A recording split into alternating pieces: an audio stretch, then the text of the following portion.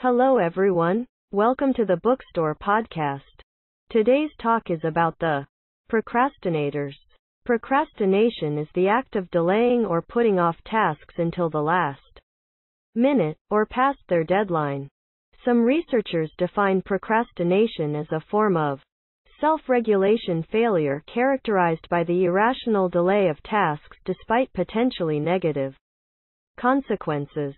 No matter how well organized and committed you are, chances are that you have found yourself frittering away hours on things like watching TV, updating your Facebook status, shopping online, when you should have been spending that time on work or other projects. Whether you're putting off finishing a project for work, avoiding homework assignments, or ignoring household chores, procrastination can have a major impact on your job, your grades, and your life.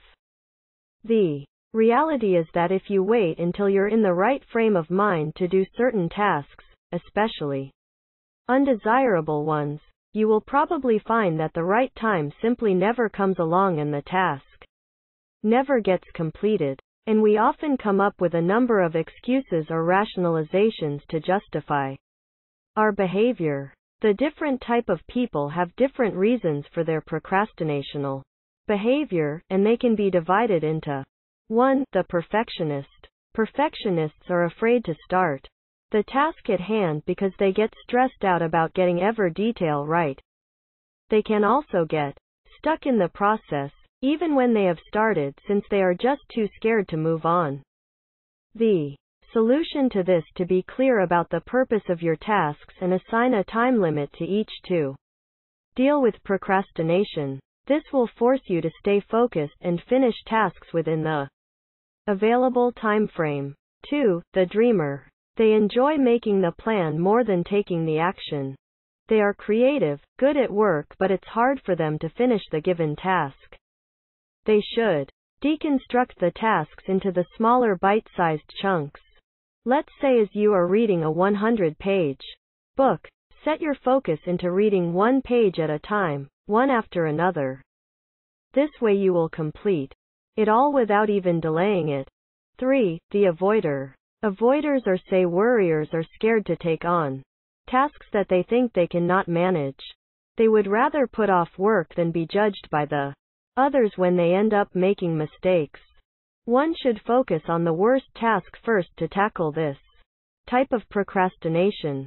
Spend your mornings working on the tasks you find most challenging.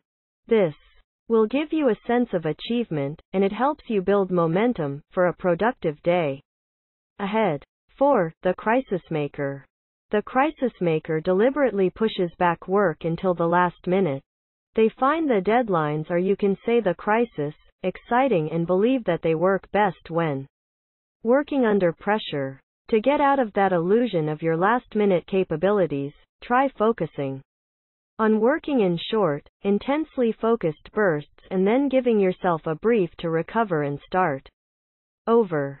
Fortunately, there are a number of different things you can do to fight procrastination and start getting things done on time.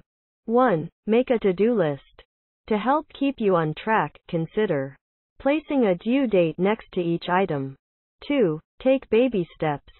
Break down the items on your list into small, manageable steps so that your tasks don't seem so overwhelming. 3. Recognize the warning signs. Pay attention to any thoughts of procrastination and do your best to resist the urge. If you Begin to think about procrastinating. Force yourself to spend a few minutes working on your task. 4. Eliminate distraction. Ask yourself what pulls your attention away the most, whether Instagram, Facebook updates, or the local news, and turn off those sources of distraction. 5. Reward yourself. Our human behavior is that we human loves getting rewards. So whenever you finish an item on your to-do list on time. Congratulate yourself and reward yourself by indulging in something you find fun. I hope now you will be able to accept yourself as a better person and get control of how and when you are procrastinating. So here I take your leave. Thank you for listening. Make sure you subscribe to the short blog channel and do like, share and comment. Thank you.